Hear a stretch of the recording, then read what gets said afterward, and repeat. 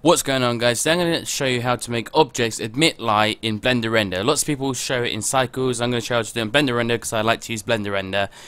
And I only found out recently-ish how to do it. Alright, so this is your objects, this is, um... This is two objects I'm using at the moment to emit light. As you can see, the brighter I make the image, the more I make the object emit light, the brighter it gets. Alright, so let's start new and I'll show you how to do it. So let's keep my cube for once. Hardly ever keep my cube. Alright, let's click on the object. So first of all you want to make texture for your object. So um I'm gonna make mine green this time because I didn't use green earlier. Whoops, wrong thing. This one, I'm gonna make it green. Oh, that's a horrible green. There we go. Uh, don't need light source because our cube will be our light source. So right now you will have blank. You will have nothing on the scene. Alright, I'm going to make the floor white. The floor wasn't white earlier, but I kind of think that will help it reflect more. Up. Turn that up. And if I turn that to 4, I might be able to reflect a little bit more. Alright, so go into your object. So you probably already know this part. But um, you turn, go into shading and turn emitter to whatever you want. And as you can see, starts to get a bit brighter.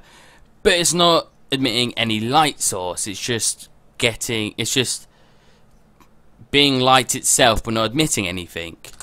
Alright, let's put a bit brighter. Here you go, like that. Alright, so the way you do it, this is, this is all you got to do after doing that. Indirect lighting, approximate, turn it up to maybe 2. It won't matter in this thing because it's not going to bounce off anything. Um, and that's it take a picture and it will now admit light. You can put fallout on and that kind of makes it um, blur a little bit more.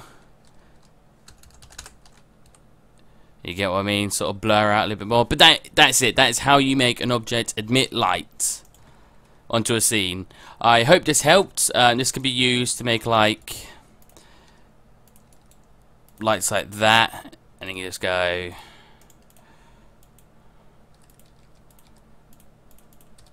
that should admit like um, Turner Fallout.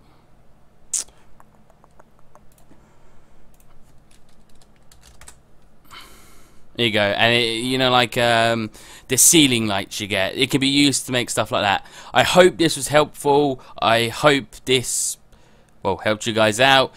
Um, if you enjoyed the video, I guess give it a thumbs up so I know this was helpful. And bye bye.